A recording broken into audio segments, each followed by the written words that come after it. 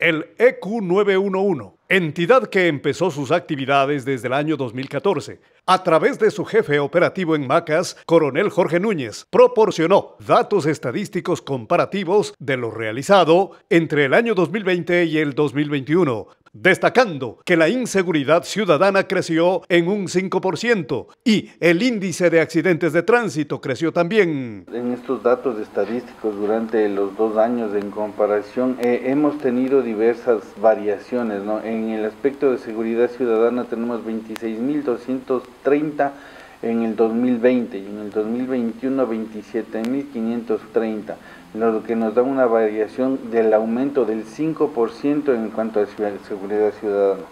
Hemos tenido una disminución en cuanto al, aspecto de gestión sanitaria de 13.600 a 9.700, en lo que es el menos 28% en emergencias de este tipo. En accidentes de tránsito también hemos incrementado, ¿no?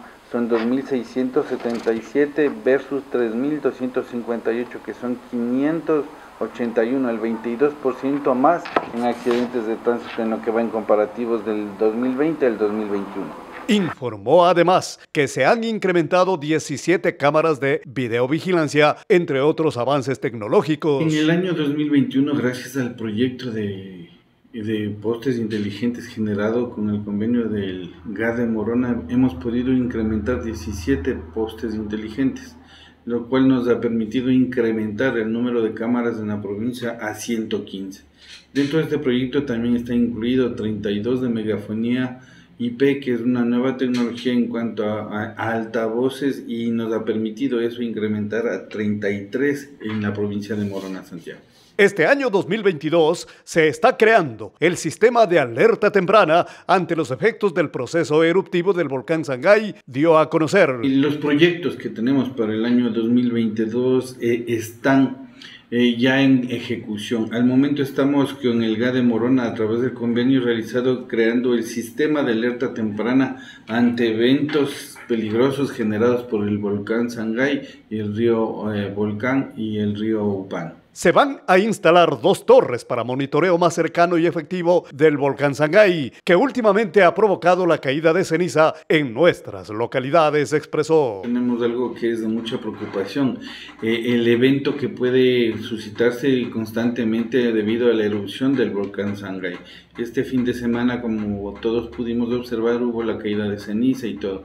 El proyecto que tenemos está enfocado exclusivamente a generar una alerta temprana en caso de algún incidente del represamiento de los ríos o de la erupción del volcán.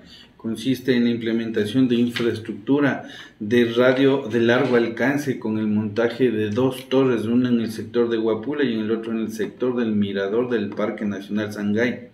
Esto nos permitirá tener eh, visión directa con el volcán y con el represamiento del río en una línea recta de no más de 20 kilómetros y nos permitirá tener información de primera mano eh, y, para poder alertar en el caso de algún evento adverso.